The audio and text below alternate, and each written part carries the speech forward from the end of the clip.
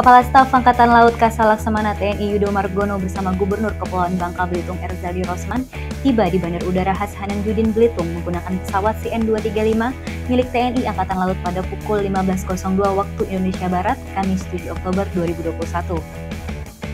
Rombongan bertolak dari Bandar Udara Internasional Hussein Sastra Negara pukul 13.00 waktu Indonesia Barat bersama jajaran perwira tinggi Pati TNI Angkatan Laut untuk melaksanakan kunjungan kerja ke Pulau Belitung.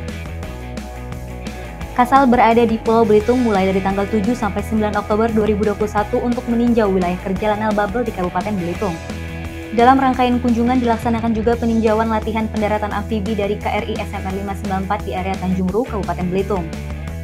Selain itu, beberapa agenda dilaksanakan di KRI SMR 594 bersama Gubernur Bangka Belitung, Bupati Belitung, dan Asosiasi Pemerintah Daerah Kepulauan dan Pesisir Seluruh Indonesia atau Aspeksindo.